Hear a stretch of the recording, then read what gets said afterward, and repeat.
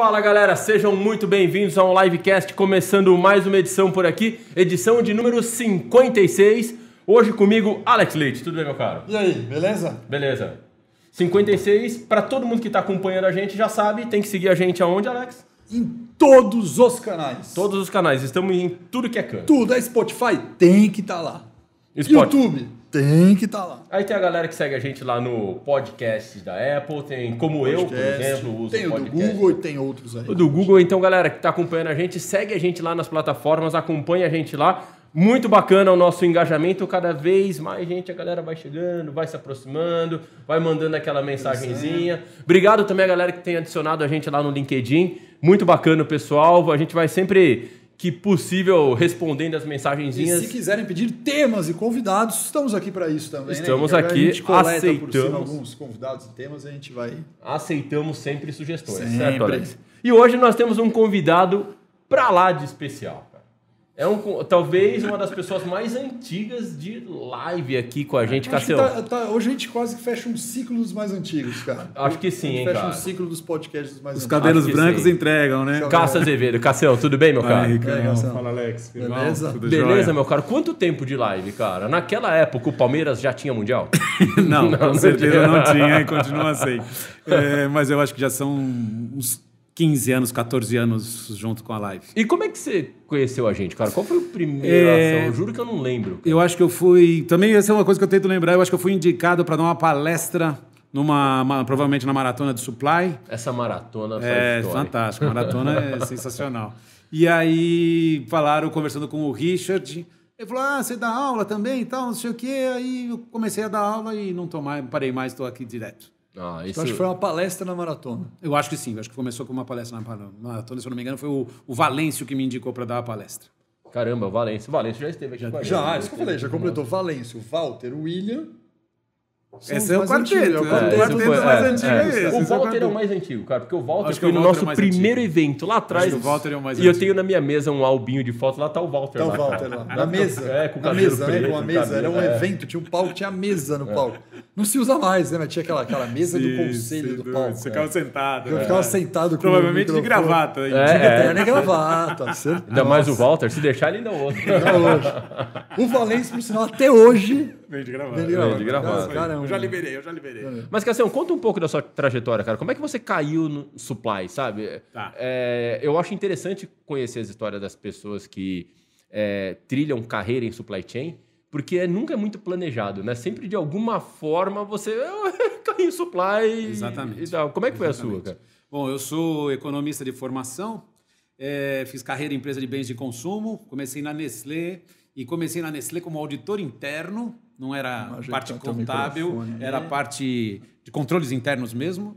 E aí, depois lá é um, um cargo de transição, não é para você ficar a vida inteira como auditor. E aí chegou uma vez um diretor de, na época era chamava distribuição, não era supply chain, era distribuição, chegou e falou assim: "Você não quer vir para nossa área?"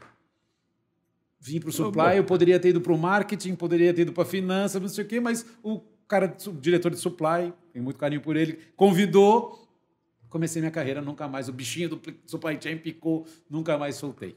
É, mas e essa coisa do inusitado também é muito, assim, importante, né? Porque isso já foi inusitado, e aí comecei no clássico, é, distribuição, transportes e não sei o quê, parará, parará. Aí eu já estava, já tinha mudado, tá, por exemplo, estava hoje em Mondelez, mas na Kraft Foods, é, era de- gerente de transportes e falaram, olha, é, nós precisamos criar área de customer service. Não tinha área de customer service. Me deram, olha, lá na Europa é assim, me deram uma planilha, uma, um, né, ah, implanta aqui. Comecei a ser responsável por customer service, desenvolver KPI, não sei o que e tal. E aí eu meio que migrei da parte mais, vamos dizer assim, mais de operação, de CD e de transportes, fui para a parte de customer service e aí na sequência da carreira fui para a parte do SNOP. Mas então essa parte também do quando eu comecei no- na logística, não tinha customer service ainda. Isso veio ao- vai formando na carreira sem a gente planejar. É, não, isso é muito louco, né? Porque é, quando eu vejo muitas pessoas falam, ah, poxa, eu comecei como. Já queria trabalhar no marketing, então eu fiz faculdade, aí eu fiz não sei o quê, mas supply chain é. Sempre surge alguma oportunidade, né? Você tá na empresa, surgiu uma vaguinha ali, eu entrei Ah, e até tal. porque é para passar do básico. Existe faculdade de chain? É. Já não tem a Não faculdade. tem, não tem. Então, se não tem a faculdade, cara, você fez hoje, imagina, o normal seria alguém mais padrão, vai, vamos falar. Se o cara quisesse seguir essa carreira com força, ele faria o quê? Engenharia de produção, vai. É, Hã? e olha lá. Isso que vai e fazer ainda engenharia, tem- mas que. Puta, porque economia não tem nada a ver. Nada. Com ciência teórica, nada, a ver. Nada a ver, nada a ver. E ainda até ainda hoje, claro, melhorou bastante, sem dúvida, mas você ainda hoje vê muitas empresas que têm basicamente o quê? Vendas e produção. Não tem ninguém no meio para pensar o planejamento, para pensar no serviço, né? Não tem isso. As grandes empresas, claro, que já estão estruturadas já há alguns anos. Mas essa questão do vender e comprar, né? Vender e produzir, é muito essa ponta. Então, por isso que o supply chain não tem essa. Né? Ainda bem que já estamos falando isso, já tem uns 30 anos que estamos nessa pegada, então hoje já tem uma cultura muito maior. Temos um MBA bom pra caramba aqui e tal, então temos, já tem uma pegada bem mais atual. É, quando a gente é, veio desenvolvendo nas primeiras maratonas do supply chain lá atrás, lá, coisa de quase 20 anos atrás, eu me lembro que a gente tinha uma necessidade. é, um- os primeiros temas das maratonas eram quase que uma afirmação da importância da área de supply chain. É verdade. Né? A gente vivia lá falando, ah, o, a gente, nós somos sim relevantes, sabe? A gente pode sim fazer diferença no negócio, Ah, e sabe? o debate, tem que ter área? É. Nossa, você lembra disso? Fica Tem financeiro. Onde fica? se reporta para quem, né? Então tinha uma necessidade muito forte de afirmação da área mesmo, Sim, sabe? sim, Nós sim. teremos diretor de supply chain, vai estar com o financeiro, sei lá. Então a gente tinha discussões muito Sim. profundas naquela época de afirmação.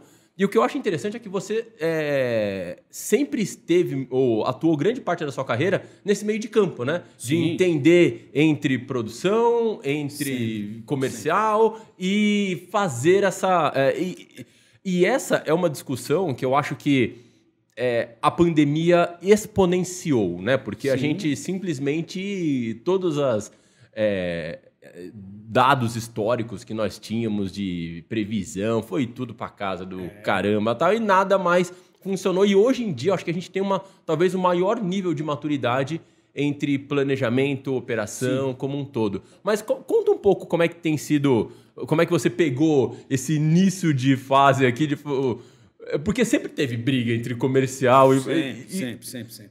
Eu acho que tem uma questão importante, eu acho que isso é uma transformação muito forte nos negócios, que tem uma questão muito importante de colaboração. De não ser mais o dono do negócio, porque sempre foi assim, né? Ah, demanda, é o cara de vendas que manda. Quanto que vai produzir? É o cara de compras lá que, o cara da produção que define. Quanto vai comprar? É o cara de compras que. E passou a ter uma questão importante de ser integrado, de estar todo mundo olhando para o negócio. Então, essa mudança para o colaborativo, isso para mim é muito significativo. Né? Nós tivemos por muito tempo, tem uma expressão importante, que a gente teve por muito tempo uma, aquela relação de eh, comando e controle, o clássico, né? Quem eu da minha época, o manda quem pode, obedece quem tem juízo, e cada vez mais eh, a gente sai do comando e controle e vai para autonomia e confiança. E isso é fundamental para essa galera que está chegando, para essa moçada, para eles se motivarem para fazer. É todo mundo tem a responsabilidade no negócio. Eu não estou lá só para obedecer o que me mandaram. Não, eu estou lá porque eu estou interessado, eu estou contribuindo, eu quero ajudar. Então, essa coisa de todo mundo junto, eu acho que é super importante. É uma mudança na sociedade e é uma mudança que chega para os É, eu negócios. acho legal você também. comentar isso, mas eu vou até pegar o gancho da palavra que você falou. Quando você fala do comando e controle para autonomia e confiança, Confiança. né? Eu adoro isso. Adoro, acho que é a essência do jogo. E gosto muito mais de explicar por aí do que pela palavra que você usou antes, colaborativo. Tá. Eu acho que colaborativo é uma palavra meio romântica, sabe? Ah, Cara, ah, não, ele tem que ser colaborativo. Tu fala, ah, legal, Não. colaborar. Mas, cara, isso nunca funcionou na minha visão. Porque é uma palavra, cara, o que é colaborar? não, é que eu Cara, acho. que eu falo, puta, não tem. eu Na entendo. verdade, o comando e controle e autonomia e confiança resolve para mim Legal. esse problema. Sim, e, e- e isso é um clássico, né? Quando a gente faz muito treinamento, com vocês também aqui e tal, que vai falar de SNOP e tal, e a gente fala uma coisa clássica, né? Quem é que quando fala assim, escuta, você, o que, que você acha de colaborar? Não tem um sujeito, nenhum, que levanta a mão e fala, eu sou contra a colaboração. É isso. Não existe. Ah, não. Todo mundo fala que é a favor da colaboração. É isso. Só que daí quando a gente vai fazer treinamento, jogo de empresas, quando faz negócio, você percebe que o cara na ativa não está colaborando em nada. Aí tem uma pegada até bacana da neurociência, né? Que o, o nosso cérebro não sabe que a gente está jogando. Então o cara joga e ele reproduz. Quando ele está fazendo qualquer atividade, ele ele- reproduz o o que ele costuma fazer. ele costuma fazer então, apesar dele ter dado a declaração, "Ô, eu colaboro pra caramba, vai jogar, vai fazer o exercício, é sozinho, vai Cara, caramba, mas, aí, dele, mas é vamos lá. definir. Nessa palavra romântica que eu quero que você pegue, o que é dar um. Não é o que é, o que é não vale e vai ficar teórico de novo. Dá um exemplo de colaborar, um exemplo prático. Cara, isso aqui o cara colaborou e desse jeito não colaborou. Não, eu acho que o. o- o- no, por exemplo, no- aí vamos puxar para um exemplo palpável o processo de SNOP. né? Tá. O processo, a construção da demanda é uma questão colaborativa e é uma questão que pode ser discutida por outras áreas. Não é só o cara de vendas. O cara de marketing é responsável por eventos que podem alterar essa demanda. Então, tá bom, quero saber onde entra num, é, colaboração. Ué, se cada um está fazendo uma parte, tá cada um. É, vai estar ligado também à questão do consenso. Não basta a palavra de um falou. Isso é outra coisa que eu gosto bastante. É, depois que você chega numa decisão coletiva, a opinião de cada um individualmente é irrelevante. Ah, então, eu, agora- eu acho que ia vender mil.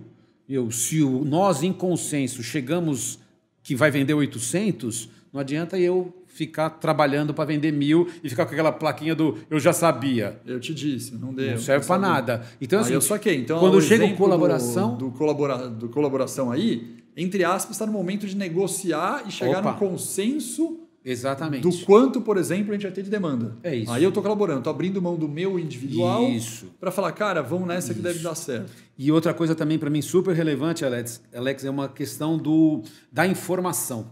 Eu também acho que assim, ao longo dos anos, a gente tinha uma questão conceitual de que quem tem a informação tem o poder. Tem o poder. Para mim, hoje, no mundo de hoje, é quem, quem compartilha informação tem o poder. Então, no passado, o cara falava, nah, eu que sei disso aqui, deixa eu guardar, não vou falar para ninguém. E ele ficava com aquele poder, então eu vou decidir porque eu tenho isso. Hoje, forte é quem compartilha, é quem divide, é quem constrói a Mas solução. lá, eu acho bonito isso. Bonito. E concordo, porque a gente está aqui fazendo o quê? Compartilhando, Compartilhando conhecimento. Então a gente exatamente. acredita isso numa essência. Exato. Mas, tirando a nossa essência de super acreditar nisso, é, você consegue dar um exemplo mais tangível do tipo, ó, na empresa, o cara que compartilha, o que acontece com ele? Porque o cara que tem informação com poder, por exemplo, de demanda, o cara fala, cara, eu tenho mais estatística tal, cara, não vou mandar meu modelo para todo mundo aqui. Vou dar um exemplo. Eu tenho meu modelo, fiz, cara, vai dar 1.250 de, do que vai vender. Por quê? Puta, rodei meu modelo aqui e tal. O cara que seria o cara de share de informação falaria o seguinte, cara, vamos lá, cara, eu vou dar meu modelo, você trabalha com ele, depois eu te ajudo, eu constrói o modelo em cima. Pá, pá. Você acha que esse cara cresce mais na carreira? É, Essa eu quero, quero, quero tangibilizar Sim. isso aí. Eu, eu não tenho a menor dúvida que sim, Alex. Por quê? Porque você acha que o cara. Porque é, a ideia, a nossa ideia, é sempre mais forte do que a minha ideia. É, a questão, assim, é, se, se eu defender um número muito, que seja um número, muito, fer, muito ferronhamente, assim, muito ali na decisão, ele se transforma no número do Cássio. E aí pode entrar uma questão de poder, de puta, mas aí o Cássio pegou muito destaque, hein? então eu vou contrapor o número dele, eu vou não sei o que tal. Mexe com poder. Entendi, tá? entendi. A hora que a gente senta e a gente constrói o número, o número não é do Cássio, não é do Alex, não é do Henrique, o número é nosso. É o número melhor para a empresa.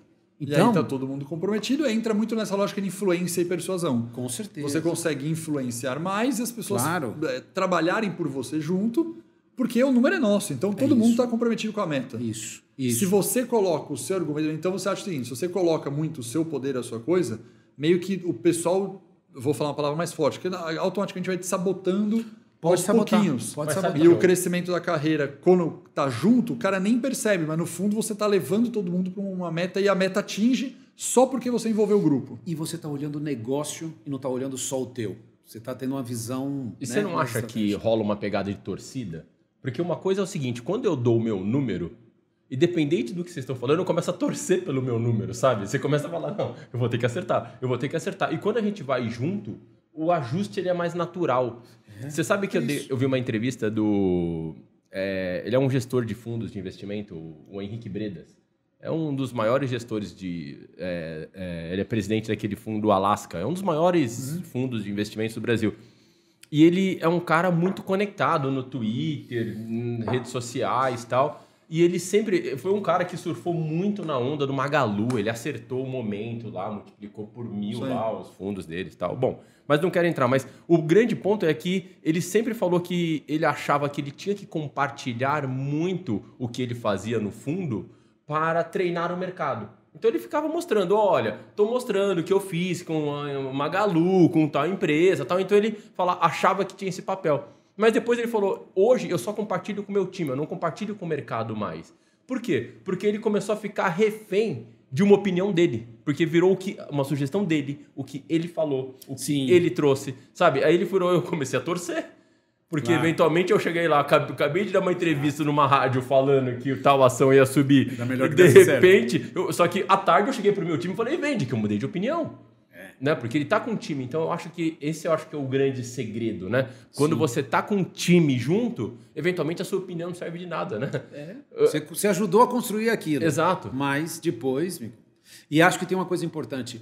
É, é aquela história da brincadeira lá do eu já sabia. Meu, você não concorda com aquilo, mas é o consenso, você tem que brigar por aquilo. Você- no mês que vem, volte com melhores argumentos para que você consiga influenciar as pessoas. Não adianta você trabalhar contra a empresa para mostrar que você tinha razão. Não, você tem que trabalhar para o número do consenso. Você continua, ah, o número do consenso não bateu. No final você tinha razão. Não vem com a plaquinha. Venha com mais argumentos para convencer as pessoas. É isso que. Porque afinal de contas, eu tô dando risada aqui, ninguém vai saber. Depois a gente pode explicar a história do piloto de avião. Agora, eu e o Cássio temos uma história famosa do piloto de avião de briga conceitual. aí. não bom não entrar Não Não vamos entrar nessa história, mas eu lembrei do piloto de avião ainda para você, mas não pela nossa história de desavença, mas pela história de que é impressionante. Esse exemplo do piloto do avião eu vi uma vez e não esqueci nunca mais. O exemplo é o seguinte. Cara, cê- vamos supor que a gente, nó- né, nós passageiros estão lá no avião, a gente escolhesse, cara, fizesse uma votação em quem deveria dirigir o avião. Pilotar o avião, né? Dirigir, pilotar. Aí, cara, ganhou o piloto, tinha o piloto ABC, a gente votou, votou, votou, ganhou o piloto A. Beleza, o piloto A entrou, subiu na aeronave, todo mundo saiu, partiu a aeronave. A pergunta é: quem é o cara que tá lá, que votou no candidato C, vai falar, cara, tomara que caia o avião, porque eu perdi o meu candidato. Analogia boa. Quero Cara, mostrar que eu tinha razão. Pra mostrar que eu tinha. Cara, bicho, você tá no avião, velho. Isso o aí. cara não ganhou o que você queria, mas você vai torcer contra o cara que você não votou, que é o piloto do avião?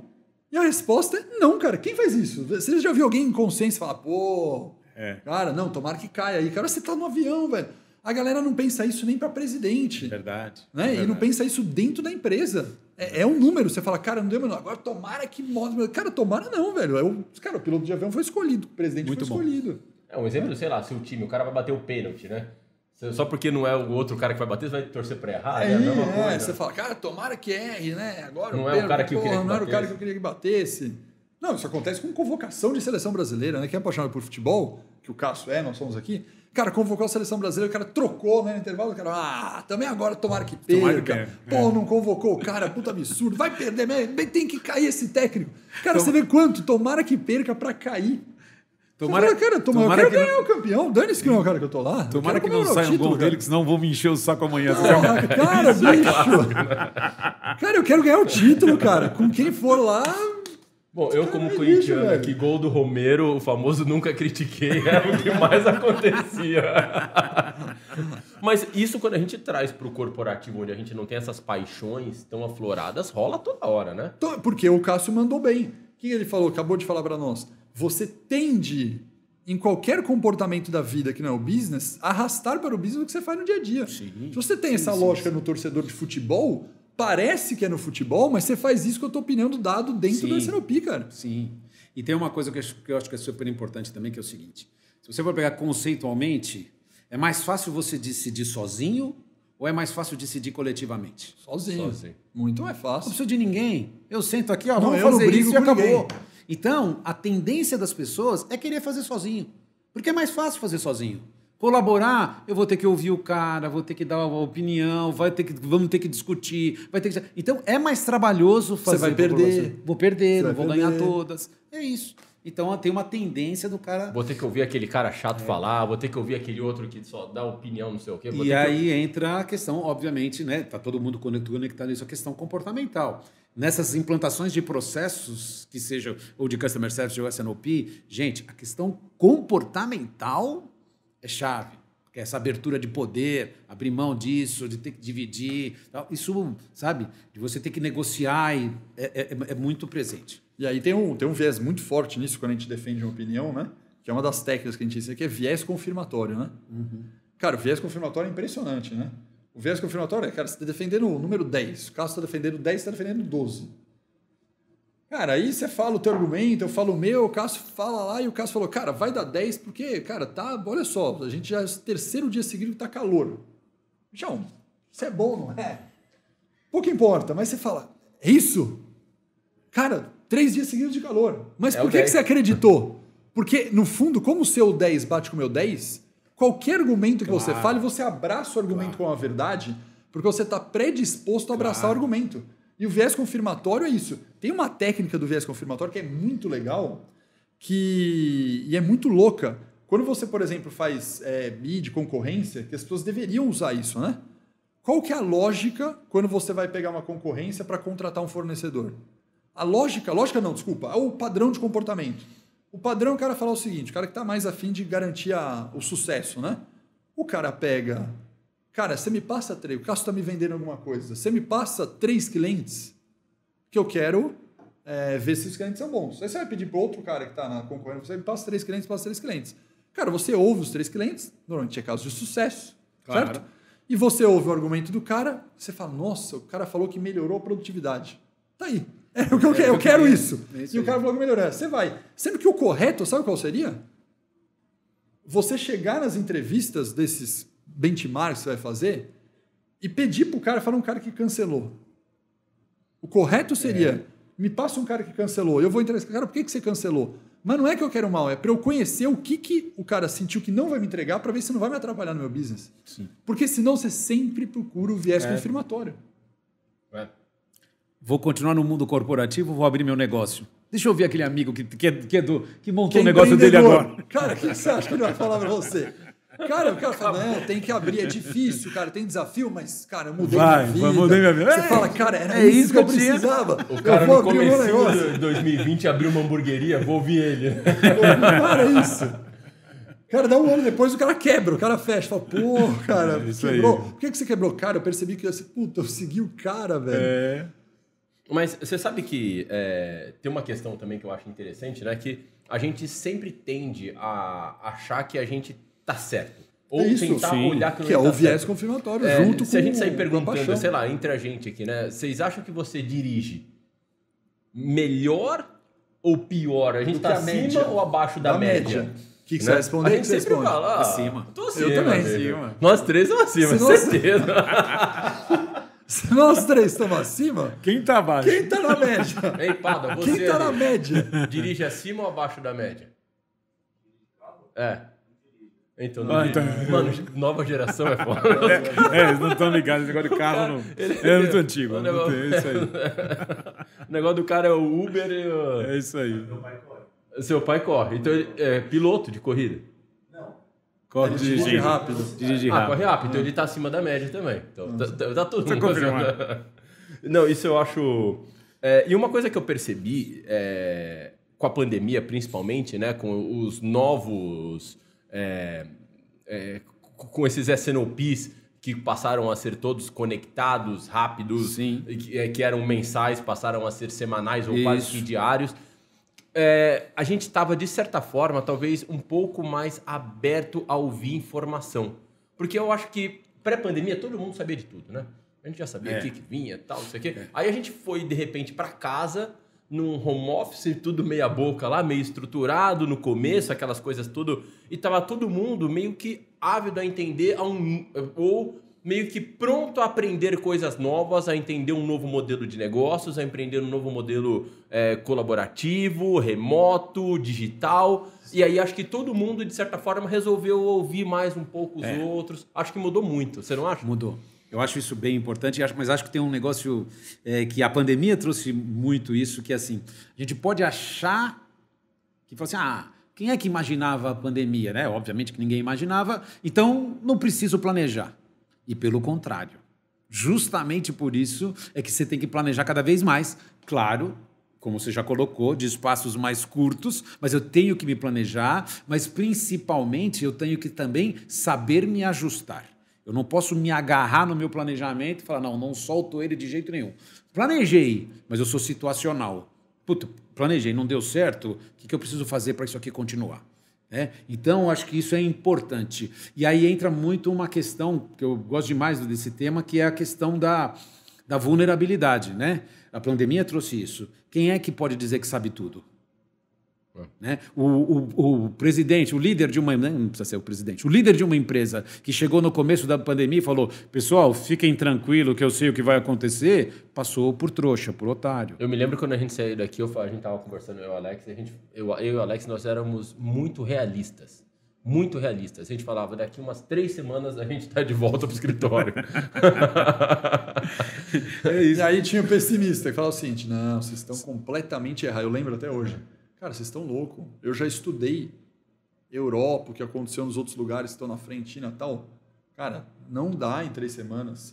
São três meses, cara. E olha só, e antes, antes tivesse sido. Não, e eu falei, cara, você é louco, três meses, cara. Três meses. É. Na verdade, dois anos foi, né, cara? Ninguém acertou, nem o pessimista. Isso. E, e o líder que se mostrou líder mesmo é o cara que era vulnerável e que chegava e falava assim: pessoal, eu também estou preocupado. Eu também estou preocupado com a minha família, como vocês, eu estou inseguro como vocês, eu não sei o que vai acontecer como vocês. Essa vulnerabilidade, na verdade, traz mais força do que mostra fraqueza. Né? Então, acho que a pandemia traz isso, a crise que a gente vive hoje. Cara, você sabe que eu super concordo com isso.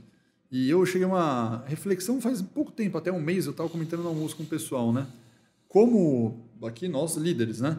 É, nós somos líderes aqui, como de repente eu me comuniquei mal. Quando eu digo comunicar, é o que a gente expressava Sim. todo momento com a equipe.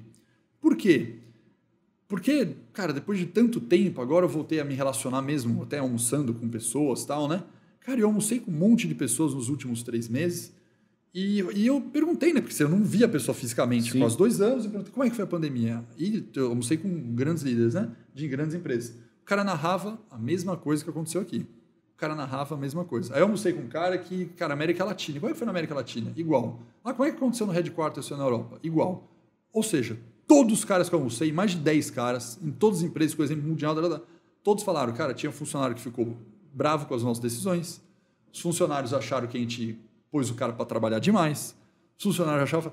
Falei, cara, conclusão óbvia, isso não era um problema da empresa Sim, sociedade. e não era o problema do líder.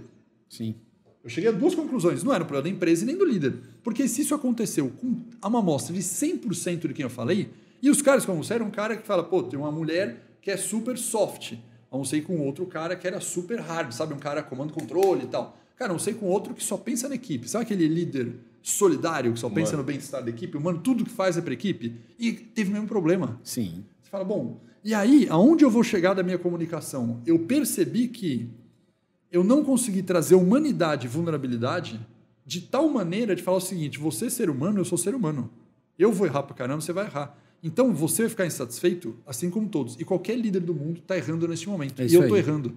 Eu deveria ter sido mais exposto na minha vulnerabilidade de comunicação e não simplesmente tentar ajudar ao máximo.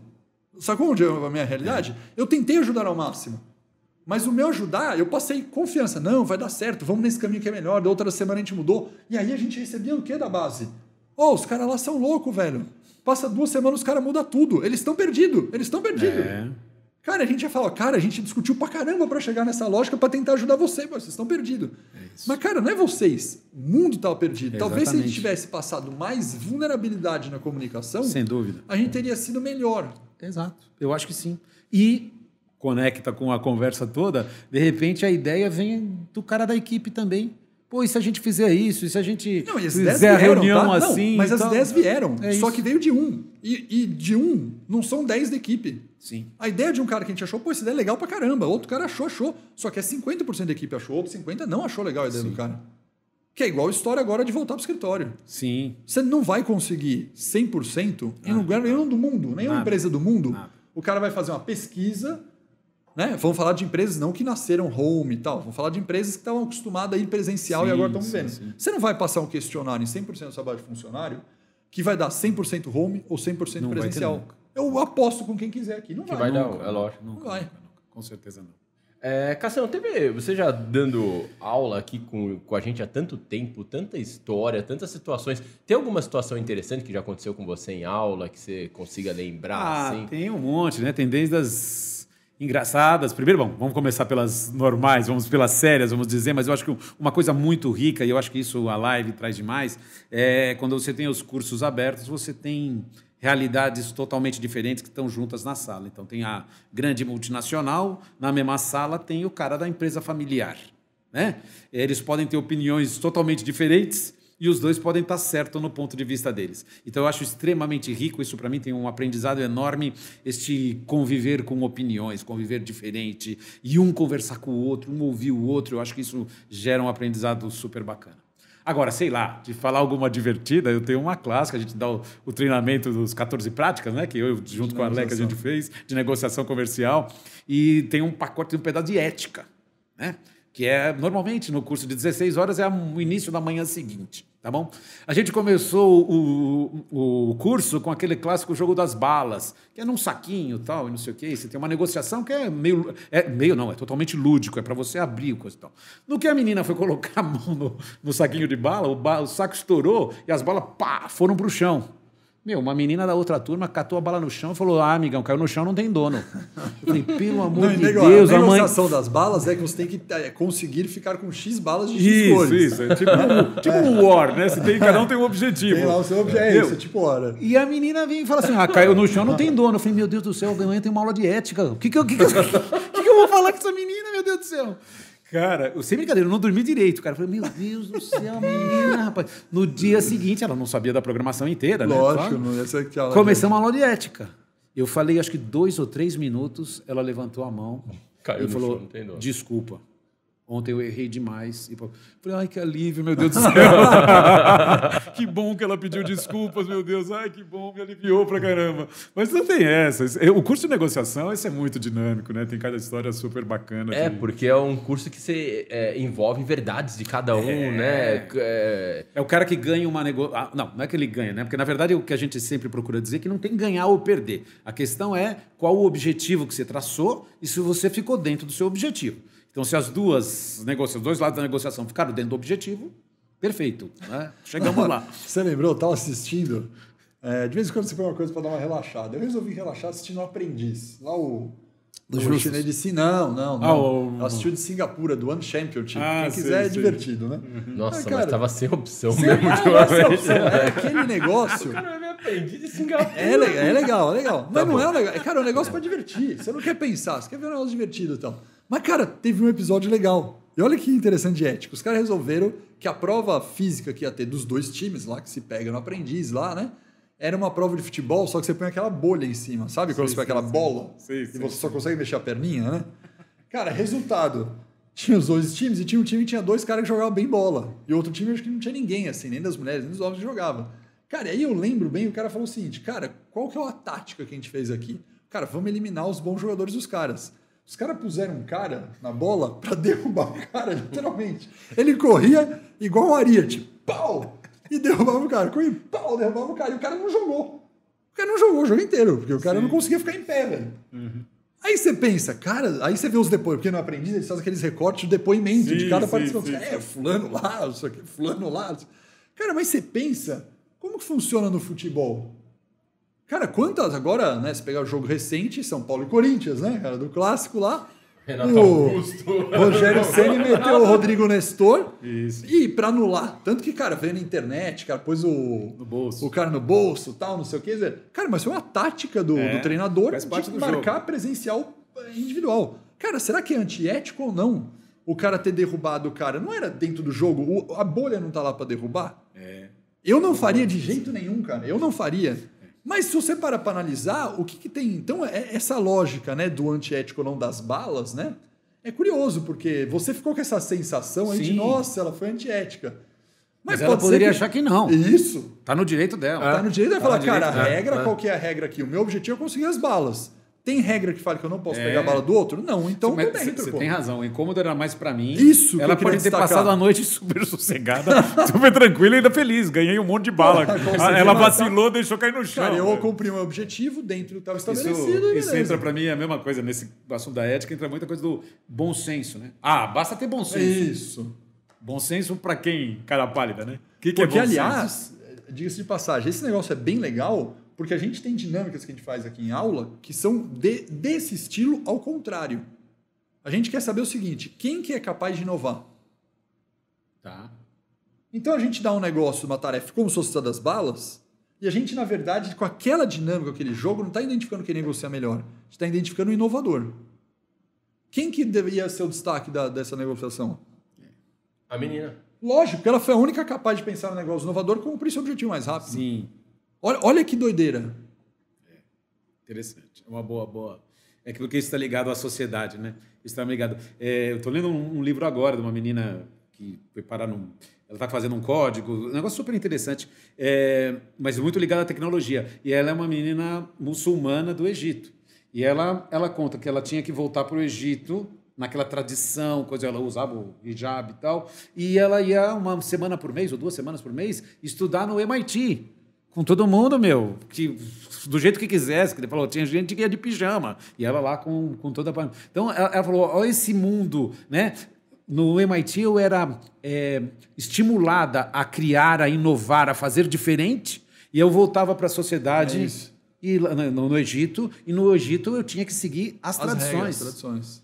Ela vivia essa. É muito interessante, decodificada, chama esse livro. Muito bom. Decodificado? Decodificado. Então, o Pada vai colocar o link pra gente aqui na descrição do YouTube. pra quem decodificado. quiser, já fica uma dica bacana do Cássio. É legal. Cassião, tem um ponto que a gente está trazendo, cara, que a gente fala muito de dessa questão de demanda, de planejamento Sim. e de forecasting. A gente está em vias e está rolando agora, né, o conflito, guerra na, entre Ucrânia e Rússia e tal, e a gente Tá. corre uma um, um risco muito grande de desa- desabastecimento, né? Sem dúvida. Afinal de contas, a Ucrânia, é, a Rússia é o segundo maior exportador de petróleo do mundo, né? É o terceiro maior produtor, mas é o segundo maior exportador e um dos maiores exportadores de eu vi recentemente 55% do gás usado na Alemanha é russo, tal. Então você vê que é, independente de qualquer coisa, né? A gente está distante dessa é, desse conflito como um todo.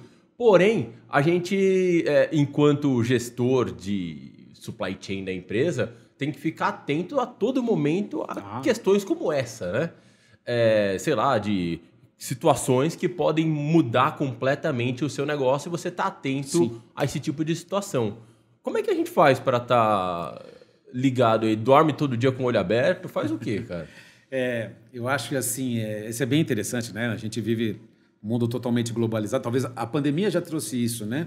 De, de repente parou de ter fornecimento lá, quando começou em Wuhan, lá na China, parou de ter fornecimento, afetou toda a cadeia aqui. Depois tivemos a questão dos containers, que também afetou o mundo inteiro. Agora está vindo a guerra. E como por os negócios serem interligados, isso com certeza vai afetar o negócio Tá, como todo. estamos ainda na época do chip, que ainda vai durar um bom Exato, tempo o chip continua. escassez, É, então, assim, o- o- hoje estava falando no almoço, já está vindo notícias de que vai subir a gasolina de novo, subir o combustível.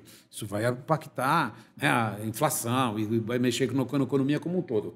É, eu acho que o que a gente.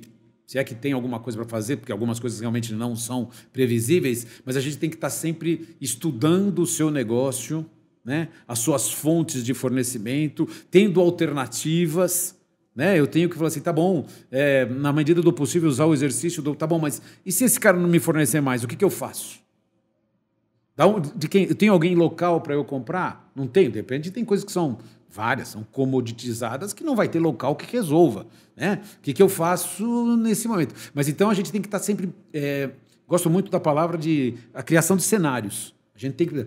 Claro que, pô, pô, mas você ia botar o cenário que o Putin ia invadir, não sei o quê. Tudo bem que talvez, acho, umas três semanas antes começou a ter o barulho de que, né, ele tá, tá na iminência. Ele passou, acho que umas três, quatro semanas na iminência de invadir. Uma hora ele invadiu, mas quer dizer, teve três, quatro semanas que poderia ter tido a discussão, e provavelmente várias empresas tiveram, mas se tiver isso, o que, que a gente faz? Eu consigo adiantar alguma coisa? Não consigo? Não tenho o que fazer? Então, assim, eu acho que é, entender a nossa cadeia de abastecimento, Tá bom? É extremamente importante conhecer bem a nossa cadeia de abastecimento e pensar sempre em alternativas. O clássico, o plano B, né? A gente tem que estar sempre. Mas eu acho que cenários você matou. É, a gente fez muito, muito webinar, né? Fizemos muito live, né? Várias. É, durante a pandemia. E a gente chegou a essa conclusão, todo mundo que a gente conversou, negócio é cenário. É isso. análise de cenário, cenário que mais se encaminha, você toma medida baseado no cenário mais é, próximo possível do que possa acontecer. É, mas eu lembro de uma coisa bem importante. Eu lembro de discussões que a gente tende é, a querer não usar cenários e usar, por, por exemplo, nesse caso, é, ah, fala, meu, a, a sacada é diminuir o risco. E diminuir o risco, muitas vezes você fala, cara, eu estou com um fornecedor, divide em quatro. Não é? A gente teve muita gente falando isso, mas eu vi muito argumento positivo, não muito, alguns poucos bons argumentos positivos mostrando que isso não é a melhor é, definição de maneira natural. Fala, cara, eu tenho um fornecedor. Nossa, dado que tem um cenário, dado que tem uma, uma eminência, cara, vamos dividir em quatro. Isso não trazia o melhor ganho para a empresa, isso não trazia o melhor performance, isso não trazia dinheiro, na verdade, é melhor ficar com o mesmo. A sacada do cenário, né? É. Você acionar o cenário ABC, que pode ser que num dado cenário, de acordo com a situação, sejam dois ou três fornecedores. É, como consultor, né, nos últimos 10 anos eu tenho a minha consultoria, é, a gente fala muito para os clientes o seguinte: não tem solução pronta, não tem solução de prateleira. Não tem uma coisa que você chega e fala assim: ah, pega isso aqui, ó, isso aqui em qualquer empresa que você colocar funciona. Não funciona. Você tem que parar, analisar. Então, essa do ah, divide para quatro, pode ser que para alguém funcione, pode ser que para uma outra empresa seja Não um funciona. desastre. É isso aí. Então, você tem que analisar, entender o teu negócio, entender a tua cadeia de abastecimento e criar cenários em cima dela. Agora, eu acho, e eu quero perguntar para você, que é, nesse momento de Rússia e Ucrânia, é óbvio que terá impacto, mas psicologicamente, em termos de resultados financeiros, em termos de atitudes e cenários, vai ser muito mais leve do que foi a pandemia, pelo sentido que a pandemia gerou muito aprendizado do que não fazer. Então, como o impacto da pandemia, na minha visão, foi muito maior e muito mais novo, se vocês tiveram que se reinventar, foram dois anos de aprendizado do que de analisar Sim. cenários. Quando chegar a Rússia e Ucrânia para ela, é mais uma. Está mais fácil. Para mim, é mais uma onda de Oh, bateu mais uma onda de Covid. Beleza, eu já sei o que tipo Pode de análise eu faço. Concordo. Você acha que faz sentido isso ou não? Não, eu concordo, concordo. A gente vai aprendendo com as situações, aprendendo com os erros e com as coisas. E eu acho que isso você vai ficando mais calejado. Eu acho que concordo com você. É. Eu acho que é Talvez se fosse a, a guerra Rússia-Ucrânia hoje, sem a pandemia, a, o supply como um todo estaria muito mais perdido. Você quer dizer que as áreas de supply chain, de certa forma, estão um pouco mais resilientes? Lógico, aprenderam. Porque há, muito, há pouco a gente estava na pandemia ainda. Então, na verdade, a gente nem parou de aprender. Foram dois anos de muita tentativa, erro, cenário, leitura, faz isso, faz aquilo. Cara, a guerra do Ucrânia é como se fosse mais uma onda. E acho que também aí, talvez aí a mais médio prazo, um pouco mais para frente, mas eu acho que tem uma já vinha por questões de sustentabilidade, mas eu acho que a questão da matriz energética é uma coisa que também tende a, a mudar. Os países ficarem mais é, propensos às energias renováveis, como é que eu escapo disso, como é que eu saio, diminuo a dependência do petróleo e tal. Eu acho que isso também a médio prazo vai despertar muitas coisas nesse sentido. Cassião, hoje você tem feito, você falou que tem é, nos últimos 10 anos trabalhando muito com consultorias de empresas.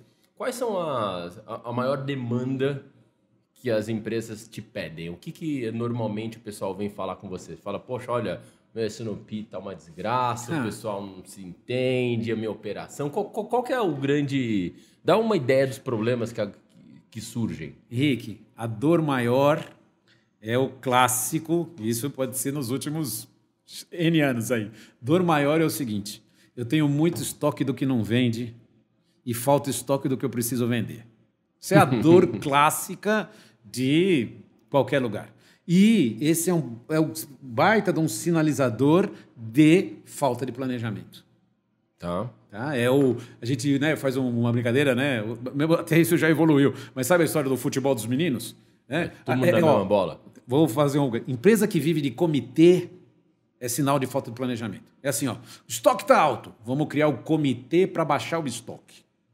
Aí faz o comitê para baixar estoque. Passa um pouco, vai baixar, vai faltar a venda. Vamos para ver o comitê para não para faltar venda, para ruptura de estoque. Então todo mundo correu para ver o excesso de estoque, agora todo mundo corre para ver a falta de estoque. Todo mundo. Então é o futebol de menino, sabe? Chuta a bola para um lado, vai todo mundo correndo para aquele e tal. Isso é falta de processo, isso é falta de organização. Então, este balanceamento do planejamento, planejamento integrado, essa coisa de pensarmos no resultado que a gente falou no começo, pensarmos no resultado do negócio, não só o da minha área, tal, papapá, essa é, a, no meu modo de ver, é a solução.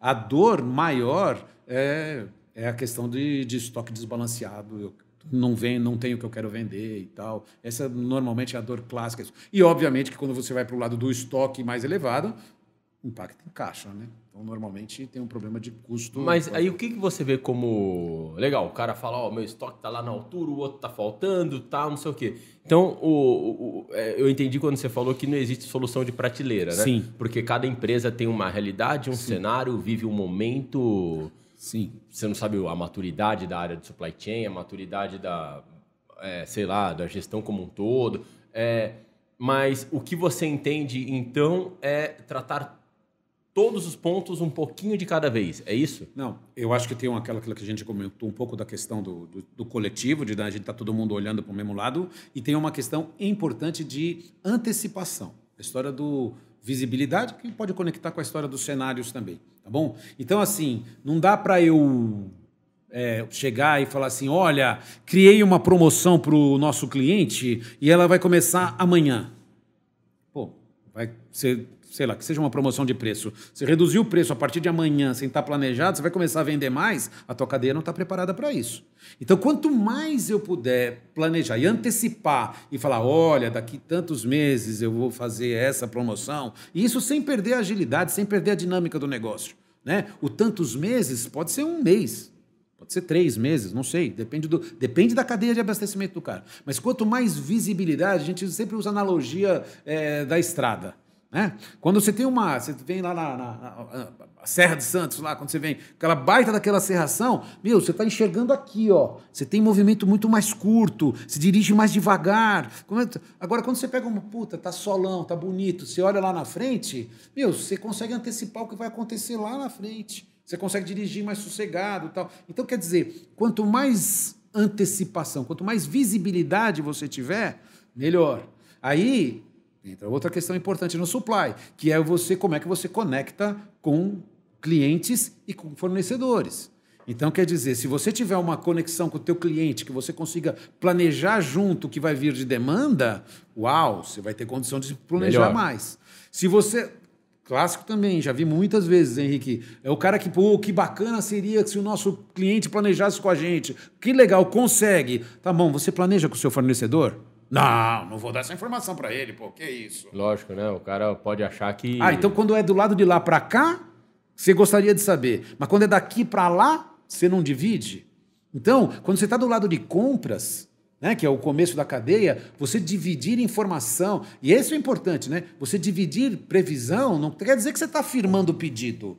Eu estou te dando uma previsão, eu estou ajudando você a se organizar. Os pedidos vão depender conforme for a demanda. Então, esse alongar a cadeia para mim é extremamente importante para a gente trabalhar melhor e ter É, mais eu acho seguinte, disponibilidade. você mesmo acabou de falar. Eu vou polemizar agora, né? que é meu- Polêmica! Polêmica! O assunto mamilo da semana. Polêmica. O assunto polêmico é o seguinte: eu concordo com você, mas você acabou de falar um negócio. Como consultor, você aprende que nenhuma solução é para todo mundo. Sim, né? sim. Então, por exemplo, quando a gente pensa nesse negócio do planejamento de visibilidade, e não estou nem falando de, pô, de três meses, de um mês, tem muitas oportunidades e tem mercados que a oportunidade é tão sazonal, pontual, que você é obrigado a fazer aquilo de uma hora para outra. Não. Certo? Perfeito. Né? É, não tem saída. Você vai ter que fazer a promoção em dois, três dias. Acho que um erro é, vou dar um exemplo, eu sou um e-commerce.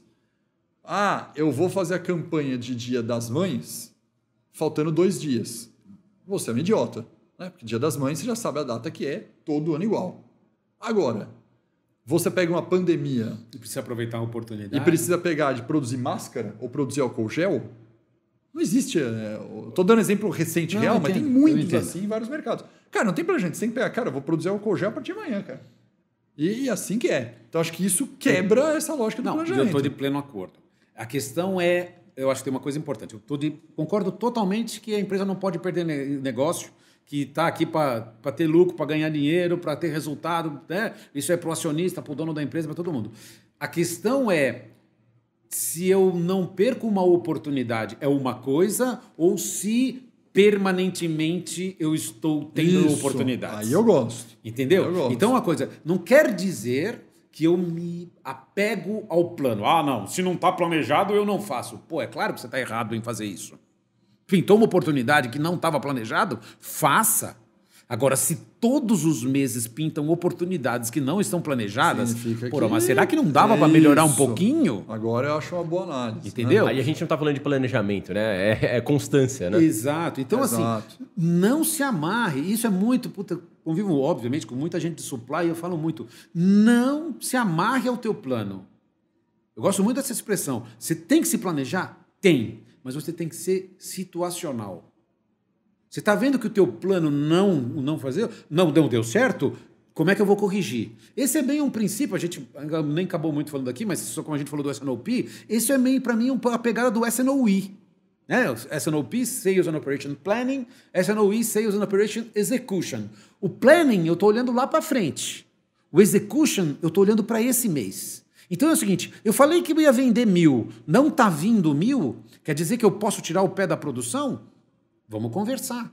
Ou então vamos pelo lado positivo. Eu falei que ia vender mil, damos na metade do mês. Já vendeu os mil? Pô, dá para eu produzir mais? Vamos produzir. Então eu tenho que aproveitar as oportunidades e não falar, ah, você produziu mil, eu não vou fazer mais nada. Porque... eu-" Então, tenho que me planejar. Mas eu tenho que ser situacional. Eu tenho que corrigir. Não posso perder oportunidades. Eu acho que- Sem dúvida nenhuma. Perfeito. E uma segunda coisa de polêmica que você falou, puxa, se do estoque, né? Pegar do estoque, tá maior, menor, tal, e é sempre falta de planejamento. Acho que eu concordo no geral, porque você pode pensar nesse escopo de planejar ou não. Mas eu quero ver a tua opinião, que eu acho uma coisa muito importante, que é, é, vou dar um exemplo, tá?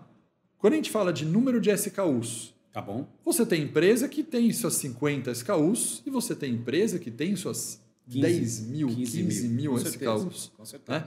Quando você pensa em 50 SKUs, numa lógica natural, dá para planejar 50. Vou inventar aqui, analo... pelo amor de Deus, né, pessoal? Só uma analogia de time. Cara, eu vou fazer 50 SKUs com uma equipe de 10 pessoas. Estou inventando Tá. uma analogia. Então, para eu conseguir fazer de 15 mil SKUs, se eu multiplicar meu número aqui, eu preciso Tá. de 1.500 pessoas. Você fala, cara, você vai ter 1.500 headcounts para fazer planejamento desses 15 mil SKUs? Não. De jeito nenhum. O que, que você vai fazer automaticamente? Assumir que você planeja com um time de 20, é, as SKUs 80 a 20 Pareto principais e uma segunda linha principal. E outras, você de caso pensado fala, cara, eu vou rodar um- uma estatística genérico mais próximo da realidade possível e vai que vai. Sim. Mas isso é uma decisão deliberada que a empresa precisa tomar. De ter a Sim. consciência seguinte, cara, essas categorias aqui, eu sei que eu vou errar, elas são pequenas, vai ter problema de estoque. E aí não tem que ter briga. É isso que eu quero ouvir. Não Sim. tem essa lógica de você É. assumir, cara, estou assumindo por uma adesão de negócio, de custo, que não vale a pena eu planejar esse cara, mas isso é parte do meu plano, de Sim. não planejar. Pô, tem duas coisas importantes que eu acho que vale a pena a gente falar. Uma questão do SKU, tá bom? É, eu gosto muito, eu, eu sempre costumo dizer o seguinte: a execução é por SKU. Então, o vendedor, quando vai lá na ponta, ele vende por SKU. É o sabor tal, o sabor tal, e parará, que seja em sabor, né? É, histórico de carreira que puxa para o sabor. O cara que vai na produção, ele tem que produzir SKU, SKU. É. Tá? Isso é fato. Então, as- a execução nas pontas é por SKU. O planejamento precisa ser agregado. Não tem. Discutir um plano de SNOP, eu vou te falar, de 50 SKUs numa reunião é pesadíssimo. Imagine de 15 mil, é impossível. É impossível. Então você tem que discutir categoria. Opa, você tem que discutir categorias, grupo, família, tem que ver qual que é a, a, a estruturação, Árvore, hierar- é isso, a, a hierar- hierarquia de, do- de produto da empresa, você discute por hierarquia, por grupo, e aí você faz rateio, e se você quiser corrigir, porque um está crescendo mais, outro está crescendo menos tal, você faz isso daí. Então, primeira coisa importante no planejamento, planejamento é agregado, a execução é no SKU individual. E a outra coisa, sem dúvida nenhuma, se você tem uma, uma categoria, eu vou puxar para a categoria, uma categoria que é flat, talvez a tua estatística dê conta e você não precise perder tempo discutindo ela. Agora, você tem uma categoria, ela pode nem ser tão né, eletrocardiograma assim, mas ela é muito relevante para o negócio. você não pode deixar no automático, você tem que discutir. É então, você.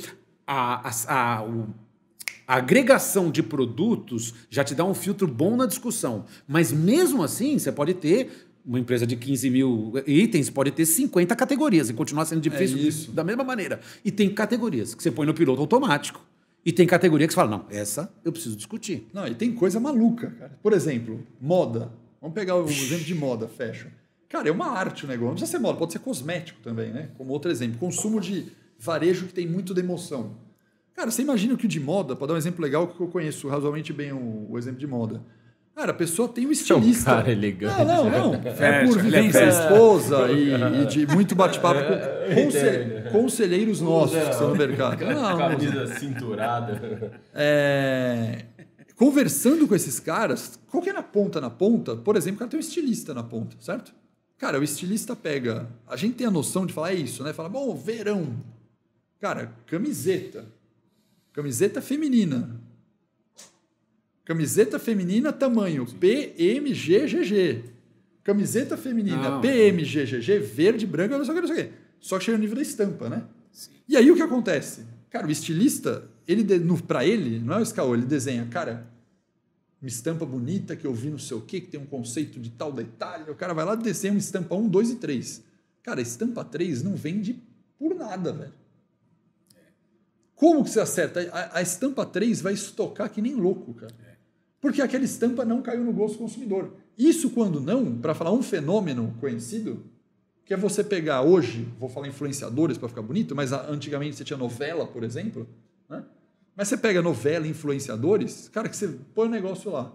Cara, a pessoa usou uma peça. Cara, pronto. O influenciador apareceu com a camiseta, sem caramba. querer. Começou a. Flau! E a outra estampa, que era mais bonita, vrum. Então tem coisa que o estoque vai crescer que não é falta de planejamento. Mas aí também entra uma questão importante aí, sem querer ser muito acadêmico, mas tem uma questão importante também, que, por exemplo, esse é um famoso, o case Zara. A Zara ficou famosa por isso. Pelo fast fashion. Exatamente. Então, para não acertar e moer o estoque, Isso. ela prefere ter capacidade ociosa e rapidez de produção e até de logística. Uhum. Ela mete num avião para chegar em determinado país, porque ela fala: não, a moda tá. O verão começou, começou a vender mais desse, eu tenho velocidade para produzir, para colocar lá. É mais, é- é- esse dinheiro vale mais do que eu apostar num estoque e ficar fechado disso. Então, aí. esse, o, né, é, você postergar a tua decisão também é uma alternativa, mas depende da sua cadeia de abastecimento. é isso Mais uma vez, a história de não tem solução pronta. Não tem né? solução pronta. Cadeia. Cação, queria trazer um ponto aqui para mudar um pouco de assunto aqui, Fala. mas um, um tema interessante. É, você corre, né, cara? Muitos anos, né? A gente, bom, desde que eu Você te não. conheço, Nós corremos. nós três corremos. Mas queria nós você. Cação. Eu sei que O Cassiano tá na vanguarda, ele correu antes da gente, né? há muito Ah, tempo. Há quantos anos? É, Com todo Cássio. res- são, Com todo comecei em respeito. 2004, é, 10 maratonas no currículo. 10 maratonas Abraço para os amigos caveiras. Isso tem que registrar. Se eu não falar dos caveiras, Aí pô, o se eu não falar dos caveiras, como é que fica? Então ele faz um corte pros caveiras e manda pra.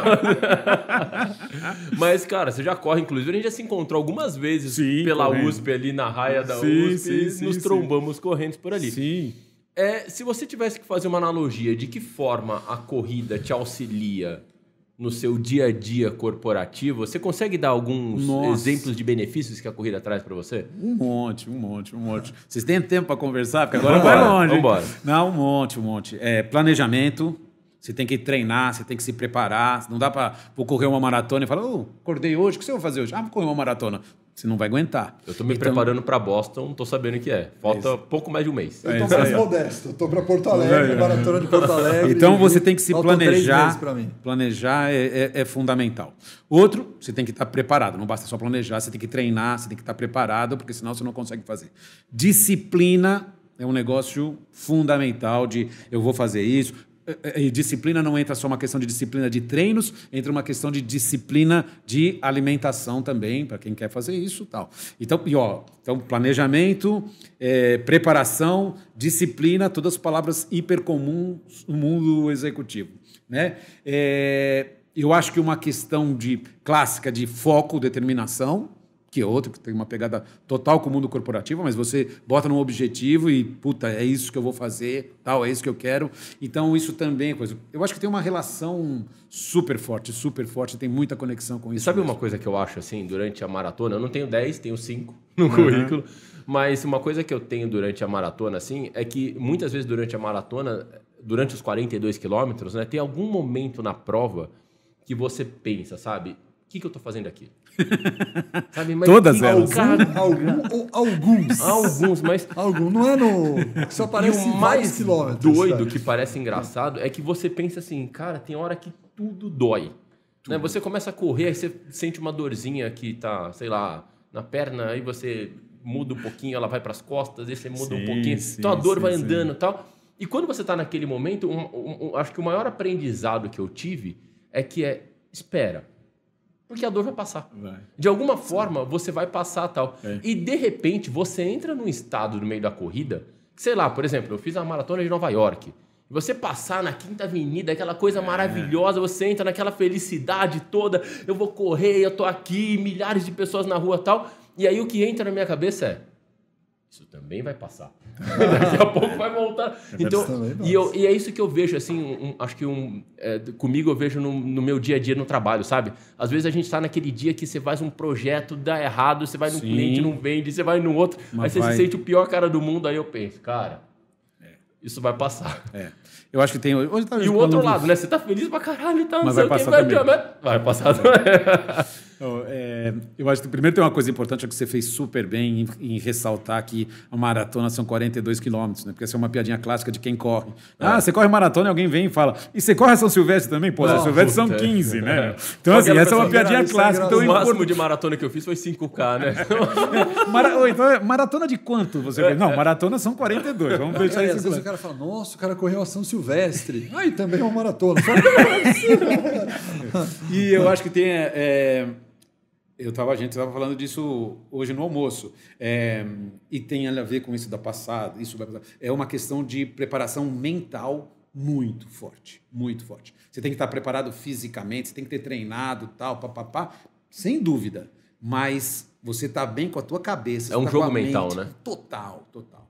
Você fazer exercício durante a corrida para falar, eu vou chegar lá, eu vou conseguir, olha que legal, olha que coisa, puta, olha como eu tô forte, lembra desse momento importante, né? Que são coisas que eu comentei, eu, aprendi no, no- fazendo PNL, né? Programação neurolinguística. Tem uma coisa do, do- da maneira do cérebro pensar é extremamente importante para você conseguir chegar na maratona e para você conseguir chegar nos seus objetivos profissionais. Então, vou mim- fazer uma pergunta de maratonas. Corre com fone ou sem? Ouvindo música ou não Não, música? imagina, sempre sem. Sem. Não, assim, ó, quando, eu, quando eu treino com os amigos, eu treino. Essa é outra coisa que muita gente assusta. Eu treino sem, porque eu vou correndo, eu vou, vou conversando. A gente fala, você treina conversando? Treino, treino conversando. Dependendo do treino mais leve, treino treinar conversando. conversando. É, se eu vou correr sozinho, treino sozinho, eu posso até colocar uma música, não tem problema, eu boto fone e corro.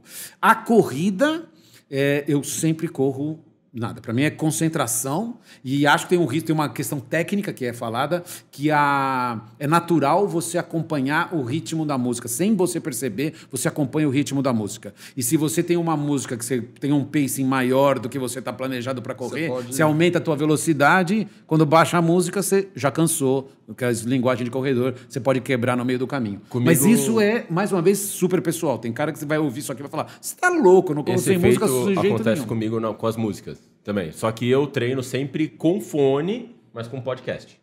Ah, eu ouço podcast. notícias. Ou quando eu tô comigo, eu É, porque você não Mas muda eu o teu ritmo. som- É, Não não muda muda o ritmo. ritmo. Eu levantei essa polêmica para ver o perfil de cada um, porque eu corro sem nada, treino tudo, zero. Não, zero. Nunca uso fone. É, e- mas é uma maluquice praticamente da minha vida. Por exemplo, por que você não corre? Porque, cara, para mim correr é parte do foco, da disciplina, etc. Na minha cabeça, é, tô sendo meio caxias aqui, tô sendo meio radical. Na minha cabeça, se eu coloco uma música, eu vou me distrair. Distrai. Se eu vou me distrair, é um doping. Na verdade, eu tô me dopando. Porque, cara, se eu tô ali para naquele momento conseguir usar aquilo para minha vida, e falar, cara, eu vou passar por um momento difícil, eu vou saber lidar com isso sozinho. Se eu colocar um doping, eu tô me dopando. Cara, eu me distraio, cara, de repente eu tô lá distraído, distraído, acabei, acabei o treino. Cara, não foi tão difícil, porque eu me distraí o tempo todo. Não, mas- Então, eu luto com a minha cabeça o tempo todo, falar, cara, tá doendo, tô sofrendo, mas eu sei lidar com isso, eu sei viver na dor. é uma radicalidade. Mas eu traço uma escolha que a maratona me leva, a corrida, né? Me leva a eu ter um foco maior porque eu aprendi a sofrer. Tá. E sei trabalhar com isso. Respeito. E aí, pra Mas mim, é, aí- cada um é cada um. é isso, é se isso o que eu queria cara se perguntar. sentir bem correndo, tem cara que vai falar assim, você é louco fazer uma É maratona isso. sem som, É música. isso, é isso que eu Se tô ele se falando. sentir bem e conseguir fazer, correr com a música, ótimo. É, cada louco nenhum. com a sua mania Exatamente. aqui, né? E Eu acho que tem que ter uma é- questão, atenção com o ritmo. Isso é realmente, é, não, não é só para inglês ver, pode ter uma interferência no teu ritmo. Então, se você conseguir controlar isso, não, não deixar se influenciar, é de cada um. É de cada um. É, não, você Ah, se sabe. você- se- perdão, se você pegar os grandes corredores, nem de relógio ele corre. É, é, o isso. cara não é corre de maluco. relógio. Isso é maluco, Imagina, né? se eu não tiver o GPS, eu... Tá per- tá Eu não saio de casa. Tá perdido. Não, né? é, é, O correr cara- sem GPS. Você não, não não treina. consigo. Não, não não, consigo. eu, eu não consigo. Os grandes corredores, o Kipchoge, os grandes corredores correm sem relógio. Eu acho é, muito doido quando a gente faz essa analogia com, com, com as maratonas, né? Porque, de fato, é, você tem que ter um planejamento de longo prazo gigantesco, né? Porque são no mínimo, sei lá, normalmente quatro meses aí de preparação para a maratona e todo o planejamento para um dia, né? É. Então, para aquele momento ali, o que, que eu vou fazer quando eu tiver na meia hora, com 40 minutos, com Sim. 50 minutos? E se planejar, tá? E, e executar tudo Sim. e tá preparado para dificuldades. Por exemplo, eu lembro que eu estava na maratona de, acho que Chicago, e eu guardei num bolsinho da luva o meu. aqueles comprimidos que eu tinha. Não lembro Sei, se era sei. BCAA, não lembro qual comprimido que era. Mas em dado momento eu fui tirar a luva para, sei lá, arrumar o fone, alguma coisa, caiu a luva no chão. Então eu perdi todos os meus comprimidos. Aí o que, que eu faço, né? Porque, cara, tinha, sei lá, não sei se era um, um Advil, um termogênico, sei lá, mas tava com todo, metade, tava metade num bolso, metade no outro. Fiquei só com uma na mão. E você tá preparado para isso, né? Entender e reajustar o plano, falar, beleza, vamos que vamos. E ó, a conexão com o mundo que a gente acabou de falar. É o situacional. Exato. Eu tinha me planejado para usar. Caiu, eu vou parar a corrida por causa disso? Não, eu vou continuar a corrida sem isso agora. Se ajusta, ajusta o teu plano e segue em frente. Bola para frente. Cação, se você tivesse que dar pra gente uma frase de impacto que marcou sua vida, que ah, eu frase tenho uma que você frase. falaria? Não, você vai pegar aqui. Eu, eu, eu lembro, eu gosto muito, tá até no meu LinkedIn, é do filósofo, do Esopo, que é. Eu gosto muito disso mesmo como conceito de vida. É, ninguém é grande o suficiente que não possa aprender, nem pequeno o suficiente que não possa ensinar. Ninguém é grande o suficiente que não possa aprender e nem pequeno o suficiente que não possa ensinar. Eu Por quê? isso. Porque todo mundo está aprendendo sempre. Tem que estar todo mundo aberto a aprender. E aberto a aprender não é. Claro, tem uma questão nossa aqui da, né, da academia de falar tal, mas a gente aprende nas relações humanas. Né? Você, é, eu tenho muito, eu gosto de fazer isso. Eu vou no supermercado, eu converso com a caixa do supermercado e pergunto: "Ô, escuta, que hora que você levantou? Você vem da onde? Quanto você tem, quanto de ônibus você leva? Que hora que você sai daqui e tal, papapá? Pô, eu estou aprendendo sobre a vida dela. E a vida dela é naturalmente diferente da minha. Então eu acho que a gente tá, sempre tem a oportunidade de aprender. E não tem quem saiba tudo. Não tem, não tem quem saiba tudo. O cara que acha que sabe muito é o primeiro passo para levar o tombo para cair. Então, para mim, todo mundo tem o que aprender e todo mundo tem o que ensinar. Me cita um, princípio de vida. um grande conselho que você já recebeu, assim, que te marcou de alguma forma. Olha, conselho, eu acho que eu vou muito nessa pegada da. Eu acho que é de ouvir mais. Por muito tempo da minha vida, eu fui muito de tem que ser, vamos fazer, é assim que funciona, tal. Acho que tem a, tem a ver Você com a- sempre foi um cara muito energético, Sim, assim, sabe? sim. Desde que eu vejo de Sim, vamos, sim, galera, sim, tal. sim, sim. Mas acho que tem muito a ver até com a idade, com coisas de vida, coisas desse tipo. Mas eu acho que o ouvir é, é sábio, né? não é à toa aquele clássico, a gente tem uma boca e dois ouvidos. Eu acho que faz muito sentido. Então, ouvir mais, ser mais paciente nesse sentido, eu acho que isso é um aprendizado importante. Foi. Agora, até casou com o que você falou da sua frase de impacto, já que você falou dessa frase de impacto, eu quero saber o seguinte: o que durante muito tempo você sempre achou bem convicto de que estava certo e recentemente você mudou de opinião? Ah, eu acho que essa questão do que a gente falou um pouquinho no começo, comando e controle e é, delegar e dar autonomia e autonomia e confiança.